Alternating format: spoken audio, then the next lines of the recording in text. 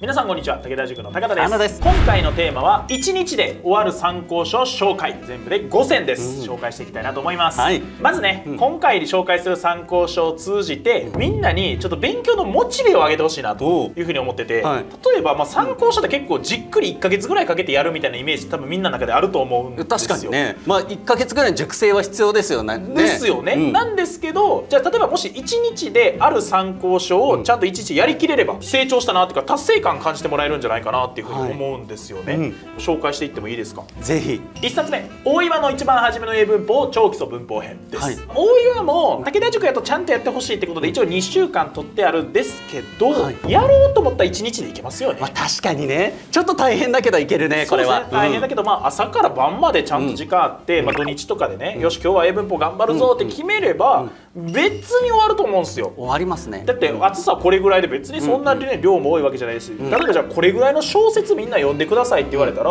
いや1日でいけるでしょと、まあその要領で、まあ、分かりやすいしどんどんどんどん読み進めていってくれたら全然1日でやることも可能だよと。確かに。そういう本になってますね。このぐらいだとねいやハリー・ポッター1日は厳しいよみたいになっちゃいますけどね。ねこのぐらいだったらいけますね。そうですね、ちょっと感覚伝わるかな。じゃあ大岩を知らない人に説明するとしたら、どの本ぐらいって言ったらいいんだろう。ちょっと難しいな、このぐらいで言ったらワンピース1巻分ぐらいですか？らそうですね、うん。だから漫画と違って本ではありますけど、まあまあ厚さはそんぐらいです、うん。うん。うん厚さはそれぐらい、だから「ワンピース1巻分の厚さぐらいの小説だったら読めそうだなっていうのが伝われば嬉しいですね、はい。で、まあ、ちょっと注意してほしいのは、読むだけだと、そのその時は分かりやすいと思って、こう内容がこう残ってない可能性があるんで、必ずじゃあ、え全部で25項あるんですけど、1項ごとに、えー読み終わったら1項、この第何項の内容はこういう内容だったなって思い出すトレーニングをしてほしいです、できたらセルフレクチャーって言ってこう一人でこう説明をする、はい。例えばじゃあ第17項が分子構文なんですけど、じゃあ大岩の第17項分子構文読みました。読み終わった後に分子構文どんなこと書いてあったっけど分子構文ってこういう役割だよな。分子構文の文の作り方はこういう作り方だよな。で2つ気をつけないといけないことがあってこういう時はこうこういう時はこう。っていうふうにその第17項で説明してある内容が誰か人に教えられるっていう状況になればクリアって感じで1個ずつ進めていってもらえたら確実にこう忘れにくくなるし、はい。え確実に身につく勉強になってるんでおすすめです。はい、絶対にこれやってほしくて、ね。もうねおすすめのレベル超えちゃってて、はい。だってねこれ一気に読んでよくあるのが、あれ？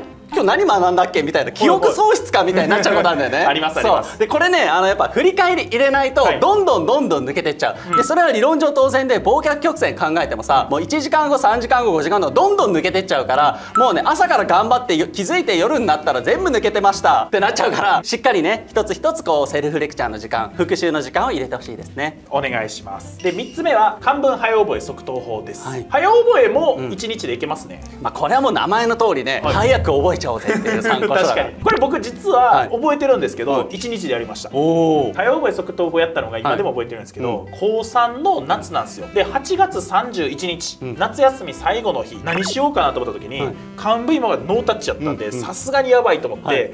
8月31日にもう今日は漢文の日だって決めて、早覚え即答法をやりきりました。おおだから一時リアルに行けます、うん。でしかも多分ね夕方ぐらいには終わったんですよ、はい。はい。朝から始めて、うん。夕方ぐらいから多分センターの過去問じゃあ解いてみようって解いておいきなりいい点で出たみたいな。お。早覚えパワーすげえみたいな。そんな感じで勉強してましたよリアルに。それはすごい8月31日。なかなかに濃いねそれはね。ね。もう100%のね果汁ジュースぐらいの濃さがありますね。濃いな濃厚うんだな、濃厚だよその1日は。だって。確かに。センターまでつなげちゃうのはさすがになかなかいないんじゃないですか？そうですね。でも実際できると思うんで、まあこの春ね漢文やることについては、まあ、古文ある程度基礎固まってから漢文やった方がいいなとは思うんですけど、もし漢文もめっちゃ苦手意識あってみたいなことだったらもう一日漢文の日作っちゃえと、ん。でもうこの漢文一日でできたら達成感もあると思うんで、おすすめですと。いやこれいいですね。だってねこれで今まで模試とかの時に毎回点数漢文に引っ張られてる子多いと思うんだよね。多いですね。1日でそれをある程度のレベル引き上げられるこんな美味しい話はないぞということでこれねぜひ1日トライやってみてほしいですね。やってほしいです。続いて4冊目。英文読解入門基本はここだ。これも一日でいけそうでしょ。これはいけるよ。薄さで言ったらさ もう小説で言言うとアガサ・クリスティのそして誰もいなくなったくらいだからねもう。そして何もなくなっちゃうから一日で。どういうことだよこれ。教養がないんかもしれないですね。ちょっとアガサ・クリスティのその本の薄さがあピンとものすごい薄いのよ。あんなに名著って言われてる、はい。あの小説はい。がこんな薄くてそんな内容詰まってんのかと思ったらもうはい読んだらぐいぐい引き込まれて一瞬で終わっちゃうんだから。基本はここですね。どっちも同じようなねその内容の濃さ、はいはいで気づいたら終わっちゃう薄さ、ん。これいいね。例えるならば、旅のしおりぐらいの薄さじゃないですか？旅のしおりはめっちゃ薄いね。あれぐらいの薄さっすよね。あれよりはもうちょっと普通。ああるか。もしれない。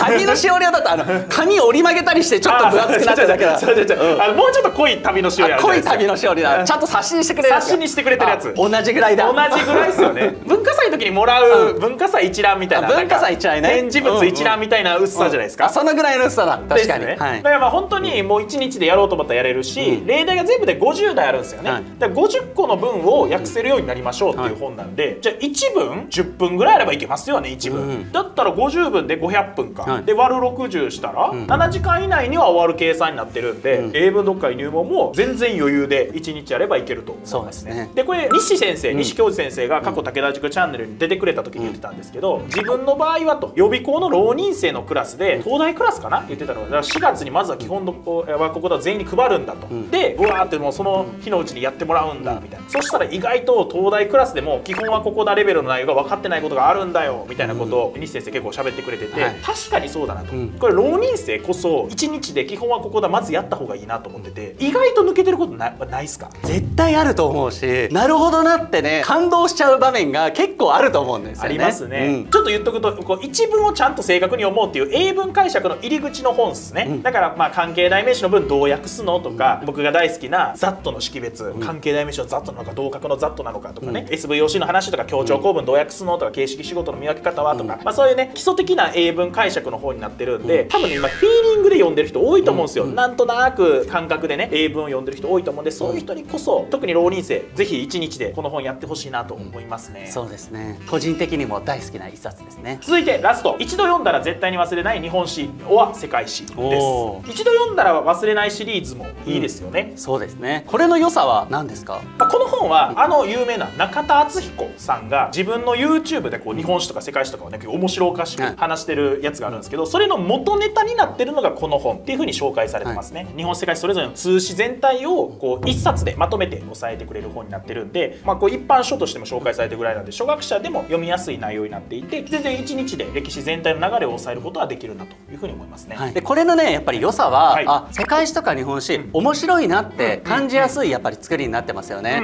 うもちろんねこの一冊に全部をギュッと凝縮してるから受験に問われる知識の細かい部分には触れられてない部分も多いんですよね、ただしっかりとこの木のね幹になる部分この図太い幹の部分をズバッとね書いてくれてるから読んでてあなるほどなとかその世界史日本史の最初から終わりまでのある程度のつながりが一気に見やすくなるからこれはね一気読みしてほしい参考書ですよね。これからじゃあ歴史の勉強頑張るぞって言ってもこう全体像見えてないと、うん。結構しんどいじゃないですか、えまだまだ覚えることあるの、とかえ次の時代どんな時代来るの、とかそれがちゃんと一気に通史を全体読んどいて全体像見えてる状態の方が勉強はしやすいと思うんですよ、うん。なんでこういう意味では春の時期にねぜひ一日使ってこう歴史こうなるほどねこの時代の次はこういう時代が来るのかみたいな全体像をちゃんと把握しておくために読んどいてほしい本ですね。そうですね。これね例えるならねやっぱはい。ディズニーランドにね近いなと思うわけですね。どういうことですか？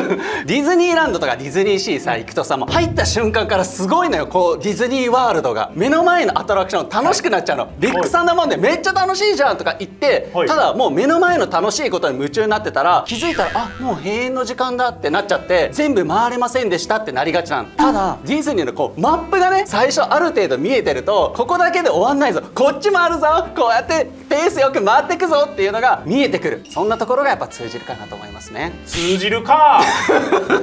全然ピンとこなかったっすわ。あれ失敗しちゃった。あらすじみたいなことですよね。そうそうそう。あらすじ青木の世界史実況中継とかだと5巻とか今なるわけじゃないですか。うんうん。それをギュッと凝縮したコンパクトな一冊がこの一度読んだら絶対に忘れないシリーズですよね。はい。なんでディズニーじゃないです。あらすじです。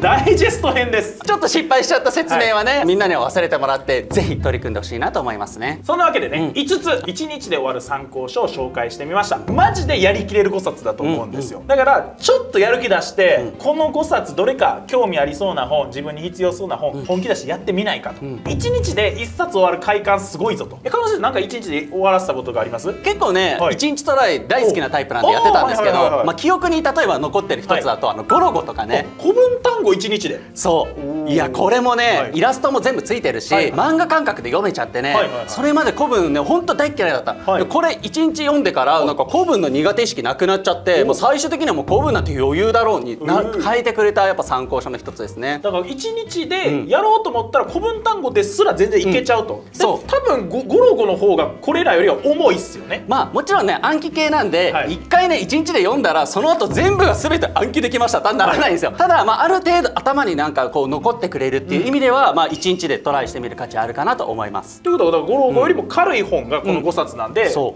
分みんなにも絶対いけるはず、だからこうもしね今ちょっとモチベーション上がりきってない人も明日一日この5冊何かしら本屋さんねまず朝行って買って、ん。で自習室でオラーっつって一日やってみてください、そしたら一日で本当に終わると思うんで。そしたらなんか手応え感じると思います、成長したなみたいな思いをみんな持てると思います。ぜひやってみてください。というわけで今回は以上です。武田塾の公式 LINE から受験相談がより気軽にできるようになりました。最寄りの校舎にチャットで質問もできます。武田塾の公式 LINE は概要欄のリンクからばまあ参考書で結構じっくり1か月ぐらいかけてやるみたいなイメージ多分みんなの中であると思うんですよ。確かにね。まあ1か月ぐらいの熟成は必要ですよね。ですよね、うん。なんですけどじゃあ例えばもし1日である参考書をちゃんと1日やりきれれば、ごおうめんなさい熟成ボケでした。熟成肉とかの話。あなるほどそうそうそうあそうか。ごめんなさいごめんなさい